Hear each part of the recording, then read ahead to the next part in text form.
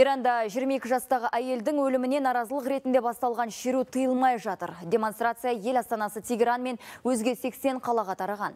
Наразылық акциясы кезінде полиция мен қақтығыста қаза тапқандар саны артып 17-ге жетті. Олардың арасында тәртіп сақшылары да бар. Еске салайық, полиция Мақса Амириді өткен аптада орамалды дұрыс тақпаған үшін қамауға алған. Әйел 3 сағаттан кейін қайтыс болды. Ресми мәліметтерге сай, марқұмның жүрек талмасы ұстаған. Ал құқық қорғаушылар оны полиция соққыға жықты деген мәліметті мәлімдеп отыр. Мақса Америдің ата-анасы да қызының денсаулығына еш ақау болмағанын айтады.